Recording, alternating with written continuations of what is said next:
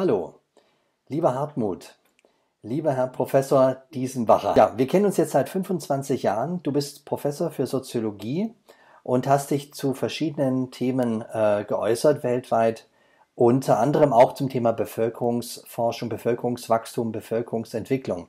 Eines deiner ganz großen Themen.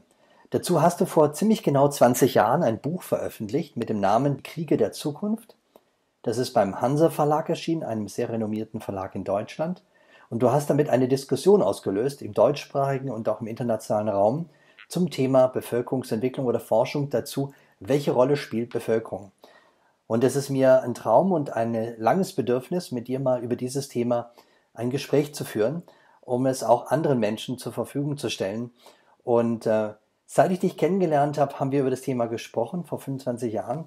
Und äh, ich denke sehr oft an dich und sehr oft an diese Modelle und Gedanken. Und es hilft mir jeden Tag, die Zusammenhänge in der Weltpolitik äh, immer besser zu verstehen. Insofern freue ich mich riesig über diese Chance heute, auf die ich seit Jahren gewartet habe. Und danke dir herzlich dafür, dass wir das heute machen dürfen. Okay, die Freude ist ganz auf meiner Seite, Uwe, nach so vielen Jahren. Schön, dann legen wir los. Äh, ich würde gerne mal beginnen mit der Frage, lieber Hartmut, wie bist du zu dem Thema Bevölkerungsforschung gekommen? 1984, äh, nach einigen Vorarbeiten, äh, ließ Kanzleramtsminister Schäuble anfragen, ob ich eine Expertise machen könne über die demografische Entwicklung Deutschlands. Ich sagte ja, zwangsläufig ähm, stieß ich äh, natürlich auf das Problem, das heute jeder kennt. Und die Spatzen pfeifen es heute von den Dächern, nämlich, dass immer mehr Menschen alt werden und immer älter werden und die gebärfähigen Frauen und zeugungsfähigen Männer immer weniger Kinder bekommen. Das kann allalong nicht gut gehen, wenn sehr viele Menschen ein hohes Alter erreichen und keine Kinder nachwachsen in der dritten Generation, die dann irgendwann die Renten verdienen sollen. Äh, dieses Thema war damals bekannt in der Bundesrepublik, nicht so deutlich, aber unter Kennern verfiel man natürlich auf, die naheliegenden, auf den naheliegenden Gedanken, äh, mehr aus konservativen nationalen Kreisen, nämlich der deutschen Frau nun mehr Kinder abzupressen, als diese freiwillig zu geben bereit ist. Das ist nicht jedermanns Sache. Vor allen Dingen muss man die Frauen dafür gewinnen. Und es lag ein anderes Modell auf der offenen Hand. Wir haben auf der Welt so viele Kinder, die überzählig sind, die hungern, die sterben müssen, die missbraucht werden, Kinderarbeit und ähnliches in vielen Teilen, vor allen Dingen der dritten und der sogenannten vierten Welt, so dass man es auf eine etwas saloppe, populistische Formel bringen könnte für unser Gespräch. Auch damals durfte man schon sagen, der deutsche, der türkische Junge wird für deutsche Großmutter die Rente verdienen. Also kurz, es ging um die Frage, wenn die Sozialversicherungssysteme nicht zu finanzieren sind, dann müssen wir Arbeitskraft importieren, wo sie überflüssig ist und wo sie auch gar nicht äh, wirklich gebraucht wird. Äh, das wiederum ähm, äh, war nicht jedermanns Sache, weil man sich nicht vorstellen konnte, wie die Integration passieren kann. Das ist ja auch richtig. Als man damals nicht bereit war, sich der Frage zu stellen, ob man über ein Einwanderungsgesetz im strikt nationalen Interesse so viel Arbeitskräfte hineinlässt, dass es zum Vorteil des eigenen Landes ist. Wenn man dieser, diesem Vorschlag nicht folgen wollte, musste man damit rechnen, dass die vielen Kinder, die in ihren eigenen Ländern keine Zukunft sehen, sich dort nicht wohlfühlen und entweder vor Ort Kriege führen oder, wenn ihnen das zu gefährlich erscheint, sich auf die Flucht zu machen in andere Länder. Äh, das ist ein äh, heute nachvollziehbarer Gedanke mit der Flüchtlingsthematik und der großen Migrationsdebatte, die wir haben. Mein Vorschlag war deshalb, wenn ihr die überzähligen Menschen aus den Ländern nicht zu uns hereinlasst, wohl dosiert hereinlassen wollt, dann müsst ihr damit rechnen, dass sie in ihren eigenen Ländern sich nicht wohlfühlen und irgendetwas tun, was ihnen nicht gefällt. Deshalb solltet ihr dann wenigstens ihnen helfen, dort zu bleiben und unter Umständen ihnen helfen, dass die hohen Geburtenraten reduziert werden. Das wiederum war auch vielen zu gefährlich, weil man an die Ein-Kind-Politik in China dachte. Deshalb habe ich dann den Vorschlag gemacht, in einem großen Artikel, äh, wie durch die Einführung von Altersversicherungssystemen in Europa, als erstem europäischen Land in Deutschland, es gelang, Zahl der Kinder zu reduzieren, weil man sie nicht mehr als Altersversicherer in diesem Umfang gebrauchte. Das leuchtete vielen ein und es gab auf meinen Vorschlag hin im Deutschen Bundestag eine koalitionsübergreifende Beschlussvorlage zwischen allen Parteien, doch so etwas zu überlegen und ein 5 Millionen Programm in die Welt zu setzen. Ich wurde dann in den Entwicklungspolitischen Ausschuss des Deutschen Bundestages eingeladen und habe diesen Vorschlag gemacht, der auch so weit akzeptiert wurde, als es um die Einführung einer Altersversicherung in Entwicklungsländern ging. Aber die Begründung, dass man damit die Geburtenraten senken könne, das wurde nicht akzeptiert. Ich erinnere, wie der Vorsitzende dieses Ausschusses, ein Mediziner der SPD, harsch aufforderte, doch mit meinen demografischen und statistischen Spielereien aufzuhören. Es gehe darum, 800 Millionen hungernde Kinder zu füttern. So. Äh, worauf ich sagte, ja, Herr Doktor, sowieso, ich will seinen Namen nicht nennen, ich stimme Ihnen zu, aber wir müssen damit rechnen, dass in 25 Jahren wir nicht mehr 800 Millionen, sondern 1,6 Milliarden hungernde Kinder haben. Ach, Sie mit Ihren statistischen Spielereien. Das hat mich seinerzeit sehr geärgert und ich habe mich dann entschlossen, meinen ganzen Forschungsaufwand auf die Frage zu konzentrieren, was passiert in den Ländern, in denen offensichtlich überzählige Menschen sind, das heißt so viele Kinder in die Welt gesetzt werden, dass das Bevölkerungswachstum wesentlich schneller voranschreitet als das ökonomische Wachstum. Und diese Diskrepanz zwischen diesen beiden Größen, die habe ich, hab ich mir vorgenommen zu untersuchen äh, und stieß dabei auf einen Satz aus dem berüchtigten Leviathan von Thomas Hobbes, der dort in, äh, äh schreibt, und ist die ganze Erde von Bewohnern überfüllt, dann bleibt als letztes Mittel der Krieg, der für jedermann Sieg oder Tod bereithält. Mit diesem Satz im Kopf wollte ich nun die wissenschaftliche Arbeit beginnen, als plötzlich am Fernsehgerät abends die Nachricht kam, die mich wie vor den Kopf schlug, aus Ruanda, dass dort ein Krieg ausgebrochen sei äh, und äh,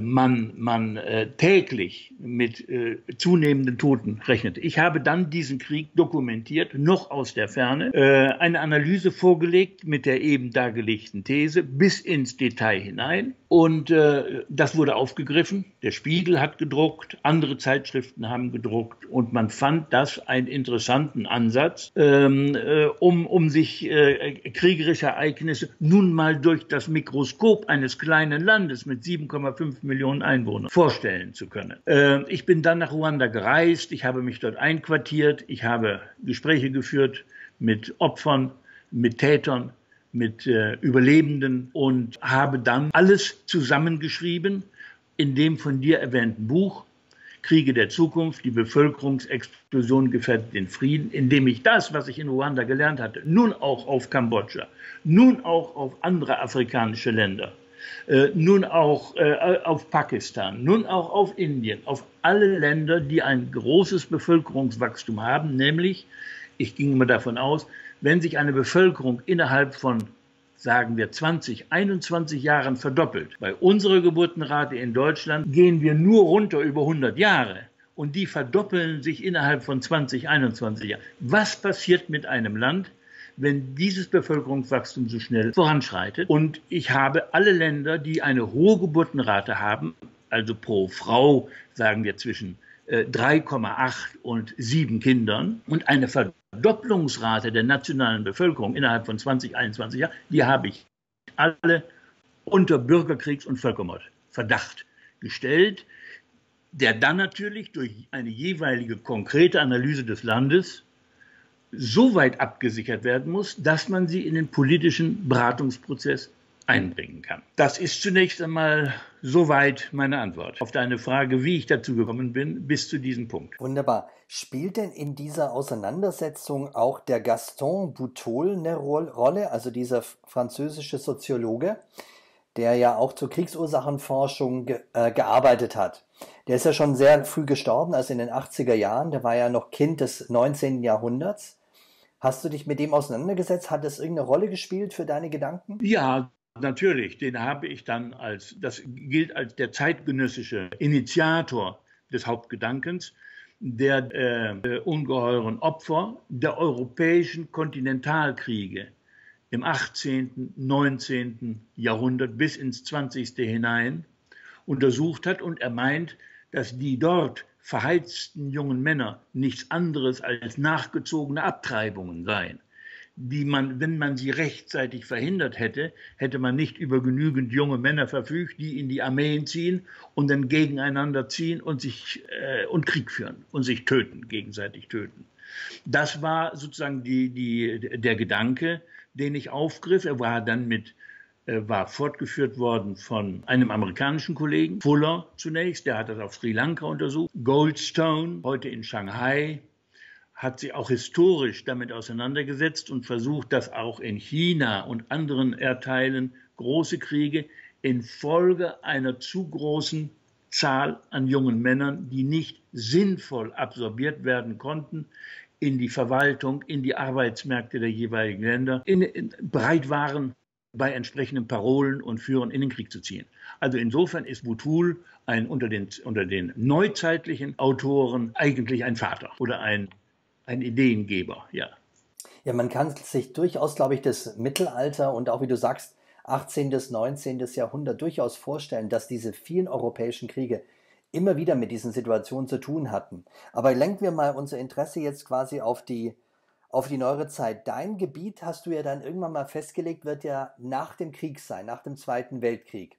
Du hast ja den Zweiten, also den Zweiten Weltkrieg ja selber herausgenommen, sondern ganz be bewusst ja gesagt, ich starte mal mit 1945 bis heute. Was hast du denn da rausgefunden? Ja, äh, natürlich. Ich äh, stütze mich bei meinen Argumenten auf die Forschungsergebnisse von zwei großen Forschungsrichtungen. Das ist einmal die Demografie und die andere ist die Kriegsforschung. In Hamburg haben wir eine nach dem Zweiten Weltkrieg durch einen ungarischen Juden gegründetes Institut für Kriegsursachenforschung, das heute eine Mannschaft von Wissenschaftlern und Wissenschaftlerinnen zusammengesucht hat, die damals, als ich dann nach Ruanda äh, mich ernsthaft äh, entschloss, äh, diesen Hobbschen Gedanken weiter zu verfolgen, auf die Forschungsergebnisse stieß und die haben festgestellt, dass zwischen 1945 und zwischen 1995, ich glaube, 287 offiziell erklärte Kriege auf der Welt geführt worden sind, von denen 80 Prozent Bürgerkriege waren und die meisten überwiegenden von diesen wiederum in sogenannten Dritt- oder Viertweltländern mit den hohen Geburtenraten stattgefunden hatten. Das war für mich ein Anhaltspunkt. Ähm, Inzwischen gibt es in Heidelberg ein Institut für äh, Konfliktforschung, die ein anderes Raster anlegt, zu wesentlich größeren Zahlen kommt, also auch kleinere Konflikte zwischen Grenzkonflikte zwischen verschiedenen Stämmen, die nicht als offiziell mit Kriegserklärung nach den traditionellen äh, äh in der traditionellen Terminologie äh, gezählt werden können. Dann kommt man noch zu wesentlich größeren Zahlen. Äh, ich habe damals diese Zahl genommen, habe dann einige, immer von meinem Ruanda ausgehend, dann einige Länder untersucht, näher untersucht, um mir klar zu werden, diese etwas dran ist. Wenn die Länder überfüllt sind. Und die Frage war immer, wie wollen wir Überfüllung empirisch definieren? Was gehört dazu? Und mein Ausgangspunkt war, wie eben schon ausgeführt, wenn die Diskrepanz, ein Auseinanderklaffen von ökonomischem Wachstum und Bevölkerungswachstum Wachstum zu groß ist, indem das Bevölkerungswachstum viel schneller voranschreitet als die Ökonomie, dann haben wir einen Ausgangspunkt, der jetzt im Einzelnen zu untersuchen ist, ähm, ähm, äh, der zumindest gewaltsame Konflikte äh, provozieren wird. Und das ist in der Forschung, sowohl in der Völkermordforschung, die aus den USA kam, später dann von einem, äh, meinem Kollegen Heinzson forciert wurde in Deutschland, bestätigt und eben die Hamburger, aber auch die Stockholmer, die Osloer Kriegsforschungsinstitute, der englische John Keegan, der israelische Martin van Krefeld, von dem der, der Low-Intensity-Konflikt stammt, also auch die kleinen Stammeskonflikte, die er beobachtet hat. Kurzum, Parallelisierung von Bevölkerungswachstum, das steigt, die Kurven gehen an und dann habe ich parallelisiert die Bürgerkriegskurven und die Genozidkurven und die laufen zwar, das Bevölkerungswachstum läuft relativ glatt, stellt man das da. Aber die Kriegskurven, die gehen dann zackig, das geht so. Aber insgesamt auch ein Anstieg, sodass ein enger Zusammenhang zwischen Bevölkerungswachstum und Kriegs- und Völkermordhäufigkeit zumindest mir damals bis heute als eine empirisch tragfähige Hypothese erscheint. Na, das ist eine Formulierung, die ich vorgeschlagen habe, den demografischen Exponenten, womit gesagt sein soll, natürlich Kriege hat es immer gegeben. Jetzt zu behaupten, dass das Bevölkerungswachstum die äh, Kriege hervorruft, wäre naiv. Die hat es gegeben, solange es Menschen gibt. Und die Historiker werden ja nicht müde, immer wieder nachzuforschen, äh, wo denn die Ursachen dieses Krieges gelegen haben mögen. Heute würde ich sagen, die Kriegsursachen, die es immer schon gegeben hat, die wird es vermutlich heute auch geben. Aber das rapide Wachstum nach dem Zweiten Weltkrieg, das hat es früher nicht gegeben. Also eine, eine, wer das Wachstum der Kriegshäufigkeit, nicht die Kriege selbst, sondern das Wachstum der Kriegshäufigkeit beschreiben will, der darf die demografischen Hypothese aufgreifen. Die, und der demografische Exponent sagt nichts anderes, als dass er alle Konflikte verschärft. Also du hast ein Boot, das für 100 Leute ausgelegt ist und es gerät in schwere See, es sind aber 120 drauf. Alle Konflikte, die auch schon bei 100 Leuten da sind, wer das Ruder führt und wer das Wasser verteilt und äh, wer äh, die Kranken versorgt. Aber wenn es jetzt 110 sind und alle sind gefährdet, dass das Boot untergeht, dann ist die Überfüllung dieses Bootes sozusagen die treibende Kraft der Konflikte. Das war mit dem demografischen Exponenten gemeint. Er hat sich nicht wirklich durchgesetzt. Er ist nicht aufgegriffen worden. Äh, und von daher äh, halte ich ihn heute nach wie vor äh, für einen interessanten ähm, analytischen Ansatz. aber um nicht an anderen vorbeizureden, benutze ich den Begriff zurzeit nur noch in Fachkreisen. Der demografische Exponent. Ich werde ihn jetzt, genau, ich werde ihn heute wieder hier benutzen und bin da sehr dankbar drüber.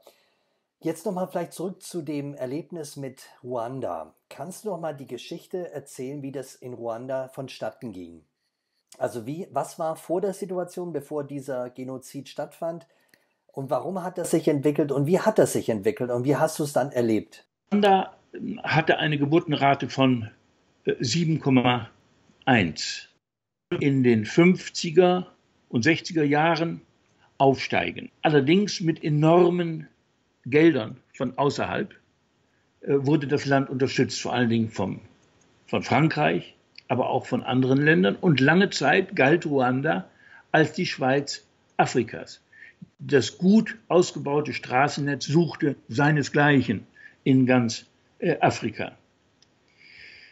Äh, als verschiedene Faktoren eintraten, nämlich ähm, der Kaffeeanbau aufgrund einer Krankheit nicht weiter gedieh, man die Landwirtschaft umstellen musste, ähm, an den Hängen der fruchtbare Boden abgespült wurde, vor allem aber es so viele Kinder gab, dass der Plot an Land, den der Vater zu vererben hatte, sich in drei Generationen von einem stattlichen äh, Stück von etwa fünf Hektar auf einen Fußballplatz vergrößerte, der nicht mehr ausreichte, sich selbst, geschweige denn das Vieh zu ernähren.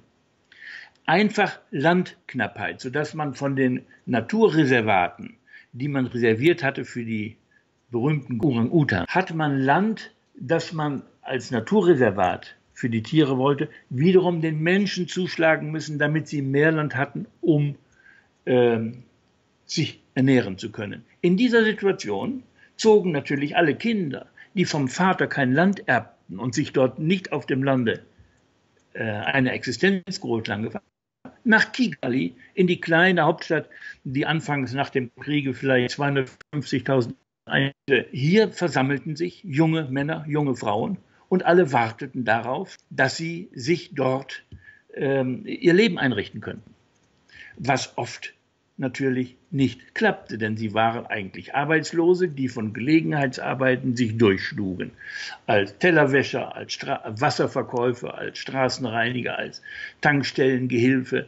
Manche gingen zur Universität, andere ähm, versuchten es mit Handel, mit Grenzhandel und so weiter. Viele spielten natürlich auch schon mit dem Gedanken auszuwandern, wenn man keine, keine Zukunft hat. In diese Situation hinein äh, spielte der Konflikt dass im Jahre 1959 unter Anleitung der katholischen weißen Väter aus Frankreich die äh, sogenannten Hutu, das ist die Mehrheit in Ruanda, im Unterschied zu, den, zu der Minderheit der Tutsi, dass die Hutu gegen die Minderheit der Tutsi, die die Regierungsposten, die Verwaltungsposten, die großen Ländereien, die guten Rinder hatten, einen revolutionären Aufstand zettelten und die regierenden privilegierten Tutsi des Landes verjagten. In der zweiten Generation, dann 1994, als der Krieg ausbrach, haben die Söhne der damals des Landes verjagten und enteigneten Tutsi von Uganda, von Tansania und anderen Ländern aus das Recht für sich in Anspruch genommen, das Eigentum ihrer Eltern wieder zu erobern und in das Land zurückzugehen, aus dem sie als Kinder und Babys verjagt worden waren. Also der heutige Chef, Paul Kagame, war einer von diesen und ist dann in Uganda unter Museveni äh, sogar zum Verteidigungsminister äh, aufgestiegen, in Amerika ausgebildet und hat dann die Rebellentruppen, die Tutsi-Rebellentruppen angeführt, die jetzt nach Kigali gingen und dort auf die Unzahl auf Arbeit wartender, unzufriedener junger Männer traf und die Tutsi auf seine Seite zog und die Hutu wurden jetzt von der Regierung unter der Habyarimana-Regierung, die lange am Ruder war, äh, wurden jetzt in Jugendlagern zu Killern und zu Räuberbanden ausgebildet, wie man nun das Land äh, von Tutsi ethnisch säubern könne um endlich eine ethnisch homogene äh, Struktur äh, aufbauen zu können. Und wir wissen, dass der Krieg, der in 100 Tagen 800.000, vielleicht sogar ein bisschen mehr Todesopfer forderte, äh, dass dieser äh, Krieg 100 Tage dauerte und mit dem Sieg der Tutsi endete. Das ist die kurze Geschichte ähm, äh, die genauen Belege äh, bitte ich dich, wenn du es wissen möchtest, wirklich in dem Buch nochmal nachzulesen. Sonst muss ich jetzt sehr ins Detail gehen. Jedenfalls hat es deine Idee des demografischen Exponenten ja dann unterstützt. Das heißt, die, die wirtschaftliche Grundlage für diese vielen Kinder war immer weniger gegeben, weil ja quasi von fünf Hektar bis auf ein Fußballfeld die Landfläche zum Anbauen verkleinert wurde. Und es gab nicht ausreichend wirtschaftliches Wachstum im Handel oder in der Industrie, um da wiederum Lebenschancen zur Gründung einer Familie oder eines Lebens eben zu schaffen. Und das hat quasi in Kombination mit diesem Völkerkonflikt zwischen den Hutsi, Hutu und den Tutsi quasi dann ähm, richtig Feuer, also richtig Öl ins Feuer gegossen, sodass dann irgendwann diese Kraft da war, äh, einen solchen Genozid äh, also entstehen zu lassen der wirklich ganz tragisch ist. Ja? Also und ja, damals, ich habe das, ich erinnere mich damals dran, das war wirklich ein schreckliches Erlebnis, das äh, als Weltbürger sozusagen miterleben zu müssen und nichts tun zu können. Aber dieser Konflikt hatte sich halt eben auch lange angekündigt. Das war eben nicht ein Konflikt, der, der quasi aus spontan entstand, sondern der hatte seine Ursachen sozusagen auch wieder in der Geburtenentwicklung. Nein, die Ursachen waren sicherlich, ähm, ähm, dass die Söhne der verjagten Eltern, die Tutsi-Söhne der verjagten Eltern, wieder zurück ins Land wollten. Aber dieses Land war voll. Das war vergeben. Die wollten das Eigentum ihrer Eltern zurückhaben. Und das war von Hutu lange äh, besetzt. Das heißt, äh, äh, das Land hatte sich aufgefüllt mit vielen Kindern, vor allen Dingen jungen, arbeitslosen, zukunftslosen Männern. Und als nun dieser Konflikt, die einen gewaltsam zurück ins Land wollten, aber die Hutu, die an der Regierung waren unter Habyarimana, die Herrschaft nicht aus der Hand geben wollten, dann war eine Gesamtsituation geschaffen, äh, um die äh, jungen Männer auf beiden Seiten äh, aufeinander loszuhetzen, damit sie sich gegenseitig, aber auch ihre Familien, ihre Dörfer, ihre Nachbarschaften ausbrennen, ausmorden, äh, niedermachen. Ähm, äh, dann läuft massenpsychologisch äh, so ein Land vollkommen äh, aus dem Ruder und ist auch äh, also nur außerordentlich schwer zu befrieden, auch für die internen Machthaber.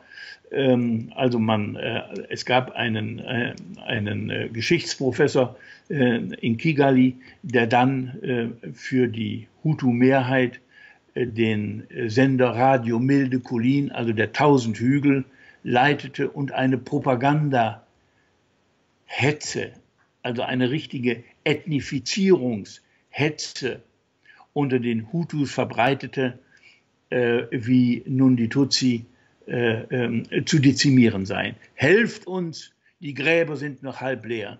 Kommt hierhin, kommt dorthin. Also, aber diese Dinge sind aus anderen bekannt und als äh, Deutscher weiß man natürlich über die etwa die Macht äh, des äh, Radios sehr genau Bescheid, wie auch der Nationalsozialismus ähm, äh, viele Deutsche erreichte durch, den, durch das Radio, was hier äh, in Ruanda auch der Fall war. Also das, was denn passierte, das ist äh, schon bekannt, wie, so etwas abläuft.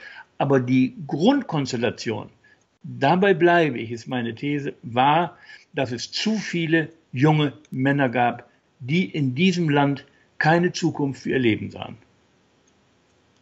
Und deshalb von anderen missbraucht wurden und man Parolen ausgab und die dann sofort auf die äh, geistigen Führer hereinfielen und dahin liefen, was man ja verstehen kann. Da wird ja auch dieser Begriff verwendet, Youth Bulge, also diese Jugendausbuchtung.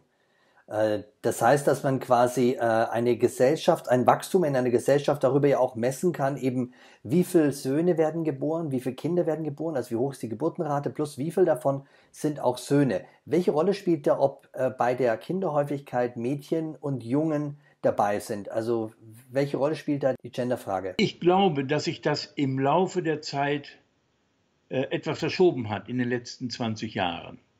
Soweit ich das beurteilen konnte, in Ruanda und in anderen Ländern haben die Frauen allenfalls im Hintergrund als Marketenderinnen äh, eine Rolle gespielt.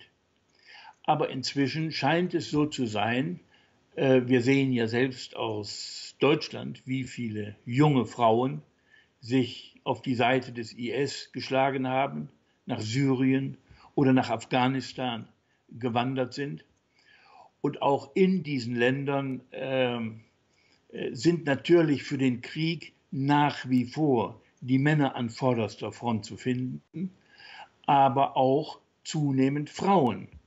Finden wir sie dort nicht, dann ist natürlich nach wie vor in den meisten dieser Länder äh, genug Zeit, die äh, drei, vier, fünf, sechs, sieben Kinder in die Welt zu setzen. Männer finden sich immer.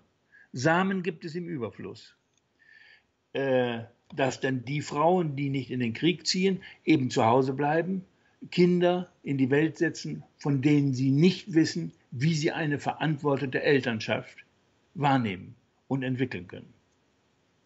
Ne, das, äh, äh, also die, die zu vielen Frauen äh, sind auf dem Heirats- äh, und Geburtenmarkt äh, weitgehend gebunden.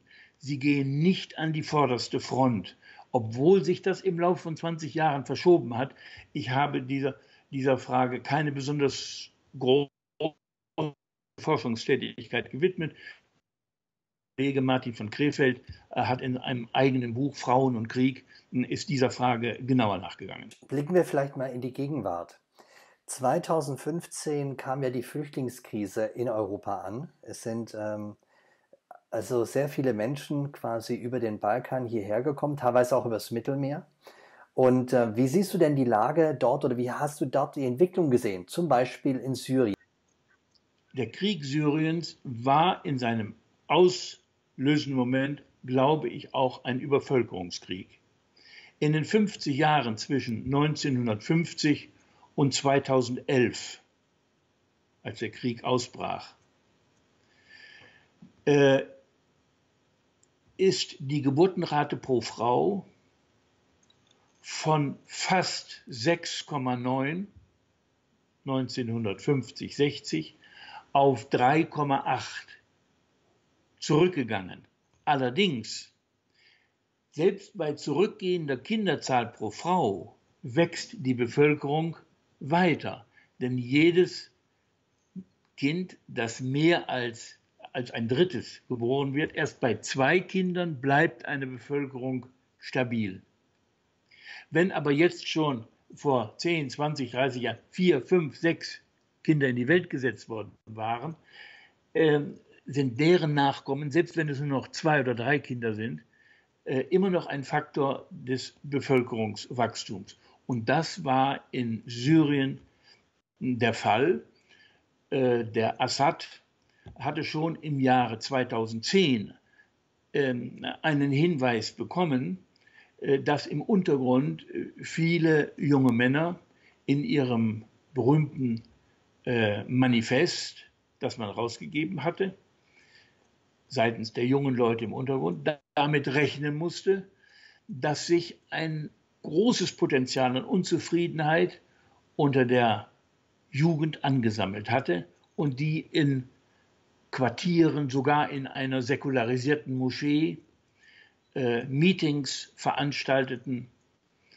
Und als dann äh, im Dezember 2011 sich der tunesische Gemüsehändler Bouazizi äh, öffentlich verbrannte, sprang von dort der Funke der Arabellion zunächst auf Ägypten und dann auch rasch äh, auf Syrien über. Ähm, nach meiner Überzeugung gibt Syrien viele Anzeichen eines Übervölkerungskrieges ab, der allerdings im Laufe der Zeit nach, der, nach dem Prinzip des Divide et Impera unter die Herrschaft regionaler und überregionaler Weltmächte äh, geraten ist. Offenbar ist das Interesse, das Ölinteresse ist, soweit ich sehe, nicht besonders groß, aber das Öltransportinteresse als ein Durchgangs-, als ein Transitland ist äh, für viele Großmächte, aber auch für arabische, vor allen Dingen für Teheran, Saudi-Arabien interessant. Das ist eine Entwicklung, die man nicht mehr, äh, ähm, die man nicht mehr demografisch erklären kann. Da sind regionale und überregionale Weltmachtinteressen im Spiel, um sich dieses zerrissene Land, in dem sich die jungen Männer unentwegt bis heute gegenseitig ausmorden und in verschiedene Fraktionen zerfallen, äh, mit einem Wechsel zwischen den Fraktionen, je nachdem, wer gerade mehr bezahlt wo man gerade zu Hause ist, wo gerade Beziehungen sind.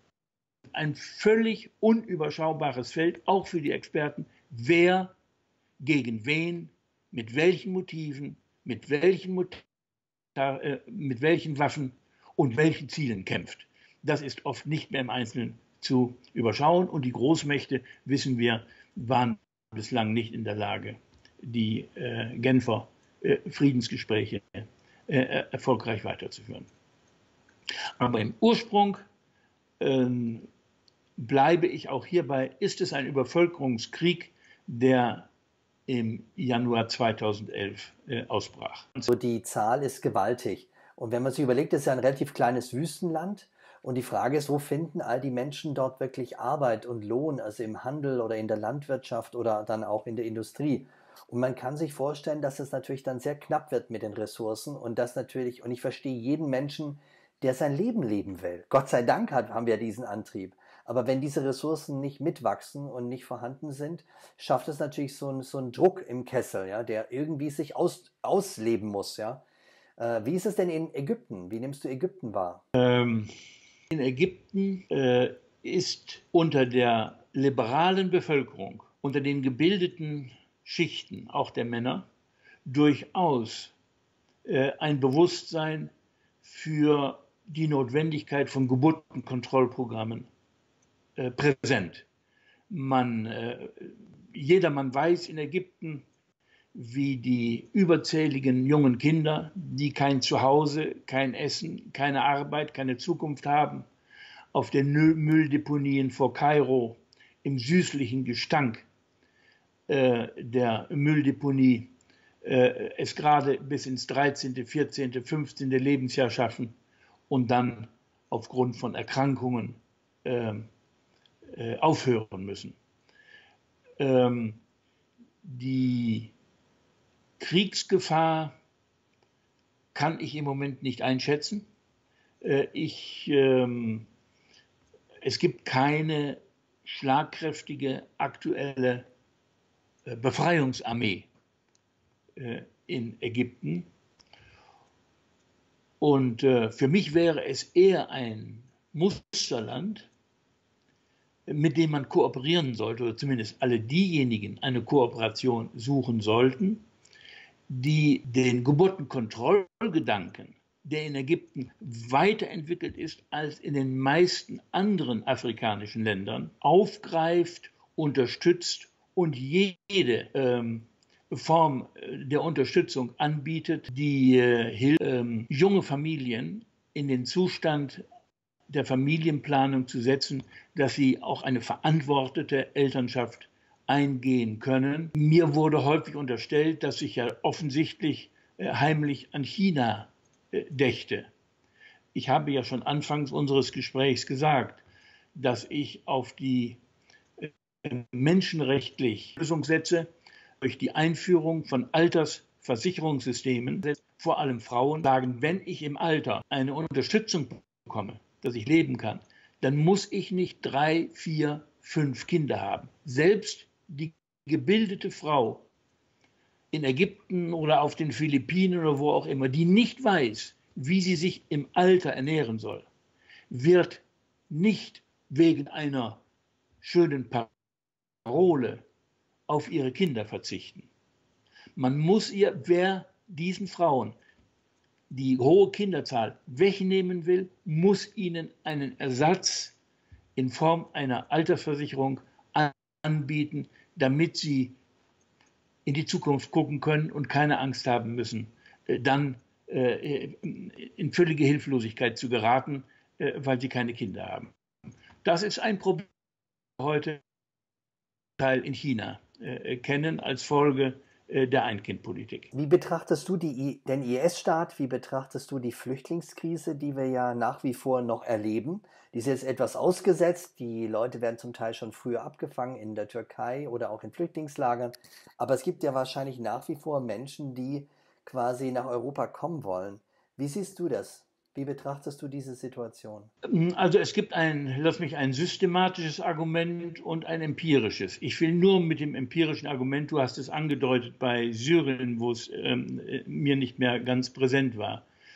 Ähm, also Afrika, wenn Afrika so weiter wächst wie in den letzten 50 Jahren bis 2050, dann hat sich die Bevölkerung Afrikas zwischen 1950 und 2050, das sind 100 Jahre, um 1000 Prozent vermehrt. Ähm, selbst der deutsche Entwicklungsminister weiß, dass in Afrika wöchentlich 5 Millionen Arbeitsplätze geschaffen werden müsste, müssten, wenn man die, den demografischen Stress der Arbeitsmärkte abbauen will. Die 24 arabischen Staaten äh, wachsen im selben Zeitraum, wenn die Prognosen nur halbwegs stimmen, zwischen 1950 und 2000 um 700 Prozent. Äh, der New Arab Report von 2016 hat sich der Entwicklung der arabischen Jugend gewidmet und kommt zum Ergebnis, dass ähm, über 50 Prozent der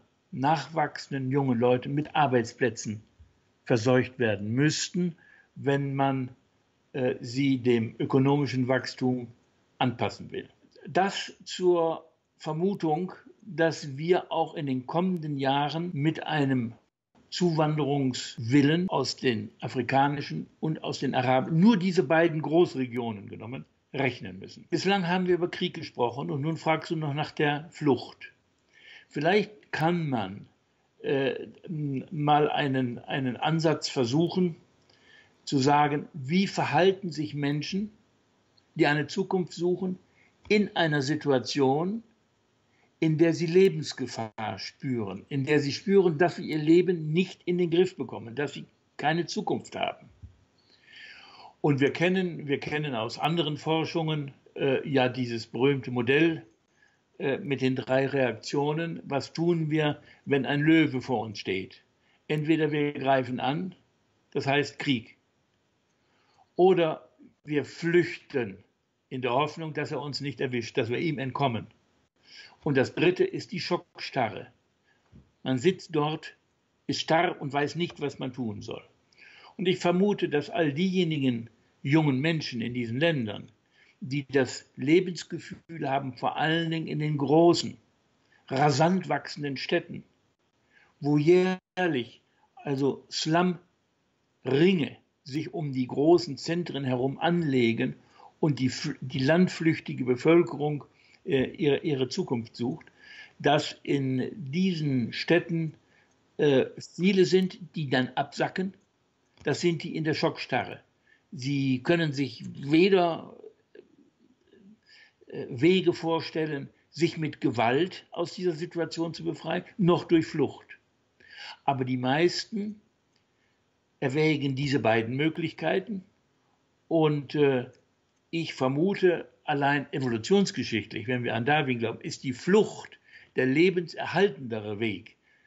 Also die Gefahr, bei der Flucht zu sterben, ist weitaus geringer, als die im Krieg zu sterben. Deshalb ist eine Option zwischen diesen beiden unter anthropologischen Gesichtspunkten äh, wahrscheinlich zunächst einmal die Flucht. Also insofern die, die Zahl der jungen Leute, die flüchten wollen, wird um ein Vielfaches größer sein als die Zahl der jungen Leute, die bereit sind, die Waffe in die Hand äh, zu nehmen und sich gegen einen lokalen oder einen internationalen, das heißt also vor Ort, gegen die Regierung oder gegen eine konkurrierende Gruppe anzutreten oder sich als Terrorismus nach Berlin, nach Brüssel, nach Paris oder London zu begeben. Das ist ja auch eine Art Flucht. Man, man flieht und greift gleichzeitig an, indem man äh, äh, dort Schaden anrichtet, ähm, wo man vermutet, ähm, dass, äh, dass ähm, äh, dieses Land äh, an seinem Unglück äh, beteiligt sei, wenn nicht sogar sein Unglück hervorgerufen habe. Ähm, von daher glaube ich, was die Zukunft angeht, es wird immer die beiden geben. Es wird immer eine kleine Minderheit geben von, was weiß ich, von so und so viel Prozent, das wissen wir nicht so genau, die bereit sind, auf Parolen, Freiheitsparolen, Autonomieparolen, ähm, Befreiungen, äh, religiöse Autonomie äh, und so weiter zur Waffe zu greifen. Und es wird eine größere Zahl gehen, die bereit sind, wie wir gesehen haben, 2016, äh, die dann über die Balkanroute und in den Folgejahren über die Mittelmeerrouten äh, zu uns kommen. Äh, es ist unglaublich, wenn man bedenkt, dass 70.000 im Jahre 2015 70.000 junge Männer aus Schwarzafrika zu Fuß die lange Sahara-Durchquerung gewagt haben, in der Hoffnung, in Marokko über, über, über, äh, über Ceuta möglicherweise nach äh, Europa zu kommen. Ähm, äh, auch die Flüchtlinge auf der Balkanroute. Jeder, der das Fernsehen aufmerksam beobachtet hat, konnte sehen, mit welch einer enormen Energie flüchtende Menschen ausgestattet sind, die offensichtlich ein Ziel haben, sich ein Paradies vorstellen, ähm, des Nachts kalte Flüsse durchqueren, mit nassen äh, Kleidern äh, äh, weitergehen, die ihre kleinen Babys und Kleinkinder, wenn sie fragen, Mama, wann sind wir da, sagen, es wird nicht mehr lange dauern und dann wird es gut sein. Also völlig irreale äh, Vorstellungen von Flucht und die amerikanischen äh, Grenzwächter äh, nach Mexiko äh, kolportieren ständig diesen Satz, äh, zeige mir einen Zaun, der zehn Meter hoch ist und ich zeige dir eine Leiter, die elf Meter hoch ist. Das heißt, es gibt immer welche, die bereit sind, die größten Hindernisse zu überwinden, weil sie glauben, über Flucht ihr Leben verbessern zu können. Aber wie wir sehen, ob das in Mali ist, ob das im Jemen ist, ob das in Afghanistan ist, äh, äh, wo wir hingucken, es wird immer Kriege weitergeben und die Frage ist nur, wie wir die Sicherheitspolitik langfristig für ein ganzes Jahrhundert so justieren, dass man dort helfen kann und ebenso die Migrationspolitik. Und leider ist es mir nicht gelungen, äh, die damalige Regierung vor der Wahl im September letzten Jahres ähm, davon zu überzeugen, ähm, dass man für die Sicherheitspolitik äh, und für die, für die äh, Migrationspolitik der kommenden Jahrzehnte Geburtenkontrollprogramme ernsthaft mit in das politische Handeln einbeziehen muss. Dieser Gedanke will nirgendwo wirklich greifen und auch in den politischen Eliten, wo man äh, Hoffnung haben könnte, gibt es, sind selbst diejenigen, die die Thematik verstehen, wie etwa Entwicklungsminister Müller aus Bayern, der weiß sehr genau, wie das mit der Bevölkerung weitergeht. Aber ich habe den Eindruck, sie haben ihren Denkapparat und wenn nicht diesen, dann doch ihre Meinung an die Mehrheit, an eine mehrheitsfähige Parteiprogrammatik gekettet und sind nicht in den Kreis aufzunehmen, der Richtung Geburtenkontrollprogramme in den Ländern mit den vielen überzähligen Kindern ähm, Unterstützung gibt. Ich sehe dort schwarz. Auch die Kirchen machen in der Regel nicht mit. Die Frauen, ich will das nicht mehr grundsätzlich sagen, da ist vieles im Schwange, äh, aber ähm, sicher ist, dass gegenwärtig auch im Koalitionsvertrag kein Wort zu finden ist,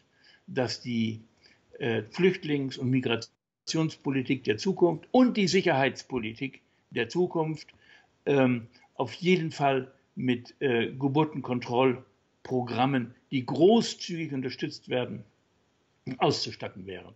Findet man im Moment leider keine Mehrheit. Also ich habe das Gefühl, dass man das Modell, was du erwähnst, also der demografische Exponent, auch diese Zahl 2,1, die du ja manchmal nennst, also wenn man, wenn eine Gesellschaft sich reproduziert, sozusagen mit einem Faktor von 2,1, dann würde sie sich stabil halten können. Also ist es 1,9 oder 1,7 oder 4,2, entweder drüber oder drunter, dann ist es wieder eine Herausforderung, entweder fürs Rentensystem oder eben halt auch wieder für die, für die Wirtschaft. Ja? Also und deshalb ist diese magische Zahl äh, immer wieder die 2,1. Kannst du das ein bisschen mehr erläutern? Naja, das war, wenn die Annahmen richtig sind, die wir jetzt äh, die ganze Zeit ähm, erörtern, äh, dann äh, ist natürlich dieses Modell plausibel zu sagen, wir nehmen Länder äh, aus dem Bürgerkriegs- und Genozidverdacht heraus, wenn sie eine Geburtenrate haben, die die Bevölkerung stabil halten. Und die Stabilität sind 2,1 Kinder. In Entwicklungsländern, weil dort verschiedene andere Faktoren, liegt sie wahrscheinlich ein bisschen höher. Die Kindersterblichkeit ist etwas höher. Von daher ist denn die sogenannte Netto-Reproduktion an der Bevölkerung 2,2 oder noch vielleicht ein, ein bisschen mehr. Ich habe diese Zahl deshalb äh, genannt, weil sie äh, von der Sache her richtig ist, von der Sache her richtig ist. Ob sie politisch durchzusetzen ist und ob man sie in den Ländern realisieren kann, das sind ja alles äh, Fragen, die bei so einer Empfehlung ähm, äh, noch unberücksichtigt bleiben. Aber es ist in Parallele zu setzen mit dem sogenannten 2,0 äh,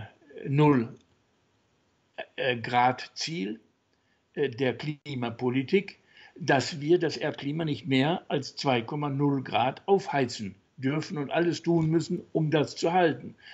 Wenn man jetzt überlegt, dass wir in bis 2050 noch einmal etwa zwei Milliarden zusätzliche Erdbewohner haben, dann erzeugen die natürlich auch noch einmal, so wie es ist, CO2. Das heißt, die CO2-Belastung wird durch die zusätzlichen zwei Milliarden Erdbewohnern in den kommenden nicht mal mehr 40 Jahren ja noch einmal erheblich belastet. Und ich habe verschiedentlich nachgefragt und die ähm, äh, Klimaexperten, äh, die diese 2,0 Grad ausgerechnet haben, konnten mir nicht sagen, ob sie einen Bevölkerungsfaktor in dieses Modell eingesetzt haben äh, oder nicht. Ich bin bis heute ohne äh, Antwort geblieben, habe sie aber auch nicht mehr als aktiver Wissenschaftler an vorderster Front wirklich verfolgt. Ich halte es nach wie vor für sinnvoll, darüber nachzudenken, also eher die Bevölkerungen stabil zu halten. Ich habe den Eindruck, dass nicht nur in entwickelten Ländern, sondern auch in den Entwicklungsländern die Möglichkeit der individuellen Geburtenkontrolle durchaus bekannt ist, auch wenn sie nicht praktiziert wird. Man weiß, dass das geht. Jede Frau weiß mehr oder weniger, äh, dass es eine Pille gibt, kennen Kondome äh, und man kennt viele andere Methoden. Das ist bekannt. Das wird auch politisch akzeptiert. Aber eine nationale oder sogar regionale Geburtenkontrolle einzuleiten, ist was anderes als eine einzelne Frau sozusagen an die Möglichkeit, die wir haben, nämlich mit äh, aufgrund der Kenntnisse, die wir besitzen über Geburtenkontrollmöglichkeiten, dass wir die Weltbevölkerung in ihrem Wachstum hemmen, eindämmen, um verschiedene Folgen, die wir alle nicht wollen. Wir haben ja nur über den Krieg gesprochen. Es gibt ja noch viele andere Folgen, äh, äh die daraus genauso entstehen. An diese Möglichkeit, an diese Denkmöglichkeit will die Politik im Moment nicht ran. Der wollte sie vor 20 Jahren nicht dran und will sie heute vielleicht zumindest in Deutschland noch weniger. Ich bin nicht mehr auf dem Laufenden, wie das in den anderen europäischen Ländern unter Trump sowieso äh, ähm, ist es unmöglich.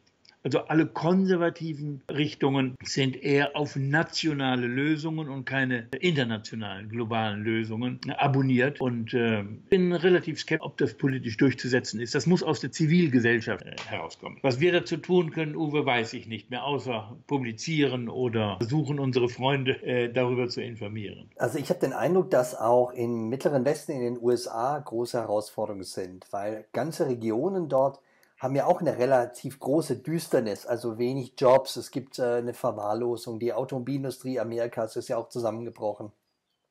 Also die Wähler, das Wählerpotenzial von Trump ist ja auch eher eine abgehängte Bevölkerung. Und ich war ganz überrascht, als man vor Jahren in Deutschland den Begriff des Prekariats zum ersten Mal veröffentlicht hat. Ja, das kommt ja aus dem Lateinischen, heißt übersetzt ja die Abgehängten oder das Abgehängte. Und ich habe das Gefühl, auch in Deutschland, in vielen Industriegesellschaften merkt man, es kommt nicht jeder mit mit den Ressourcen, die da sind, ja, oder beziehungsweise mit, den, mit dem Druck, der in so Gesellschaften existiert. Zum Beispiel in Deutschland gibt es auf der einen Seite Einwanderer, Immigranten, für die wir Raum und Zeit brauchen und Fläche und wir brauchen Grundstücke für die. Wir brauchen Arbeitsraum. Also wir brauchen Liebe und Kraft für diese Menschen. Gleichzeitig aber fühlen sich viele Menschen hier schon nicht wahrgenommen, nicht genügend wahrgenommen. Sie haben hier mit Ressourcenproblemen zu tun. Die, äh, die Arm-Reich-Schere ist vor Jahren, bereits schon in den 90er Jahren, Ende der 90er Jahre, Mitte der 90er Jahre auseinandergegangen. Und die Agenda 2010, die ja auf der einen Seite wirtschaftlichen Förderungsimpuls setzte, hat auch dazu geführt, dass dieser Impuls noch stärker wurde. Also wir haben auf der einen Seite, wie du sagst, dieses Übervölkerungssyndrom, dieses Exponent, also diesen demografischen Exponent, und davon gibt es nicht nur eine Kriegsfrage, daraus gibt es ja auch, wie du sagst, eine Umweltfrage, es gibt auch eine Flüchtlingsfrage, aber es gibt auch sowas wie Depressionen, es gibt auch inner, also in Ländern jetzt plötzlich so Rechtsrucks, wo man merkt, es gibt einfach, also die Gesellschaft ist in einem Kessel drin, sie ist unter Druck. Und ich habe das Gefühl, dass die Öffentlichkeit, die Journalisten und die Wirtschaftsleute und auch die, die äh, Politiker, dass die nicht so gerne über dieses Thema sprechen. Die Wirtschaftsleute wollen natürlich Ressourcen haben. Je mehr Menschen, desto mehr Märkte. Äh, die Wirtschaft sagt ja mehr Absatzgruppen, wenn ich mehr Menschen habe. Auch die Kriegswirtschaft sagt ja, gibt es mehr Kriege, kann ich mehr Waffen verkaufen. Äh, die Kirche sagt, na ja, also wenn es mehr Moslems gibt, dann tut es uns gut, oder wenn es mehr Christen gibt, tut es uns auch gut. Also, also man hat so das Gefühl, irgendwie sind alle von ihren eigenen Interessen halt sehr besetzt, ja. Und es gibt wenig, wie du sagst, zivilgesellschaftlichen Konsens darüber, dass wir Respekt und Liebe brauchen für die Ressourcen eines jeden Menschen und auch als Respekt vor dem Planet, ja, der auch nur begrenzte Ressourcen hat. Und ich habe das Gefühl, dass du mit, deinen, mit deiner Arbeit seit 30 Jahren dass du einen unglaublich wertvollen Beitrag leistest äh, für, die, für die Entwicklung und die Wahrnehmung und das Bewusstsein unserer Gesellschaft. Und ich möchte halt eben mit unserem Gespräch einfach darauf äh, erstens mal dich würdigen und dir Danke sagen für deinen Einsatz, aber auch hoffen, dass es der ein oder andere Mensch sieht und daraus vielleicht aus den einzelnen Gedanken Anregungen nimmt, das vielleicht weiterzudenken. Denn ich möchte, wir können natürlich niemandem vorschreiben, was er zu denken hat oder ob er diesen Gedanken annimmt, den wir gerade jetzt hier dargestellt haben. Aber wir können anregen, es zu tun.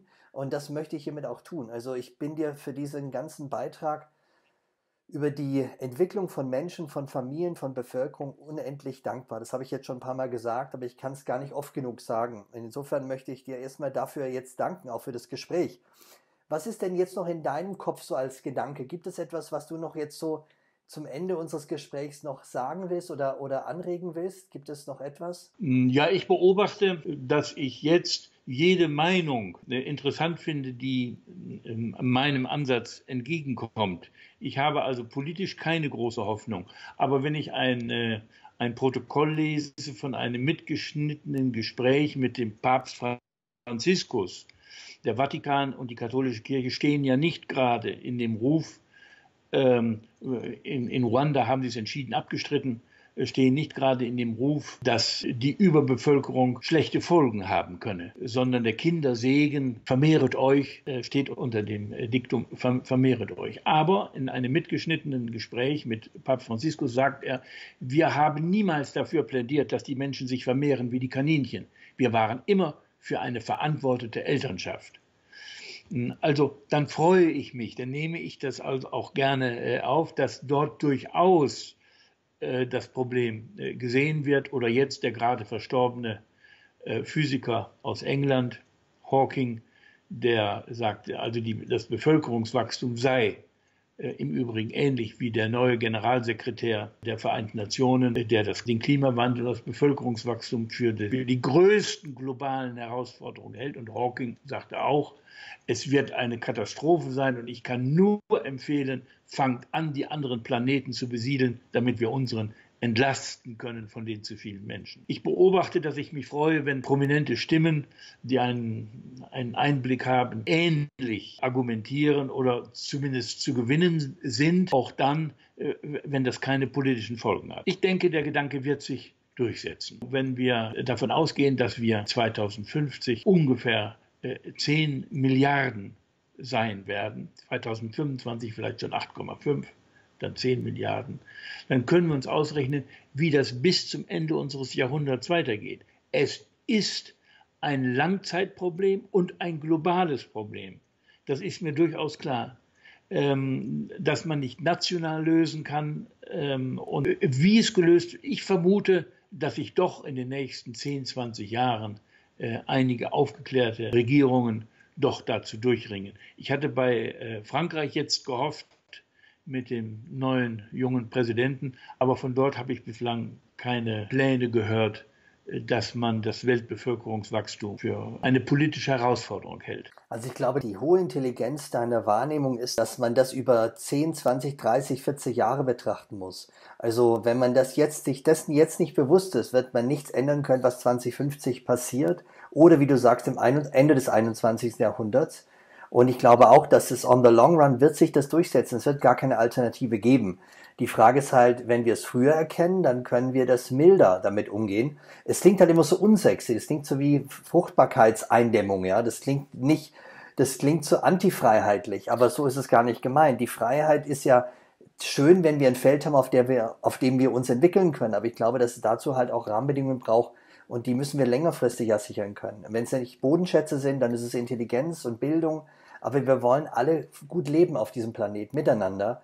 Und deshalb bin ich, finde ich das, was du da entwickelt hast vor 30 Jahren und deine Arbeit wirklich unschätzbar wertvoll. Ich bin so froh, dass wir die Zeit gefunden haben, jetzt mal darüber zu sprechen. Und es sind jetzt schon eine Stunde und zehn Minuten, die wir darüber sprechen. Und ich habe jede Sekunde genossen und finde das sehr wertvoll und hoffe, dass es viele Menschen anschauen werden. Gut, Uwe, ich habe mich sehr gefreut, dass du diese Initiative ergriffen hast und finde auch, dass du mich mit deinen Fragen bisweilen in Gebiete gelockt hast, die mir nicht mehr ganz so präsent äh, sind. Äh, aber äh, ich freue mich, dass du mir auch die Gelegenheit gegeben hast, sie noch einmal meine Gedanken auszubreiten, in der Hoffnung, dass der ein oder andere etwas mit Ihnen anfangen kann. Also, lieber Hartmut, dir nochmal herzlichen Dank für das Gespräch und liebe Zuschauer, ich hoffe, dass es euch gefällt. Wenn ja, freue ich mich über Kommentare und auch Likes. Und in diesem Sinne wünsche ich uns in der Zukunft gutes Gelingen, ein gutes Miteinander und gute, fruchtbare weitere Gespräche. Also nochmal vielen Dank. Danke dir auch, Uwe.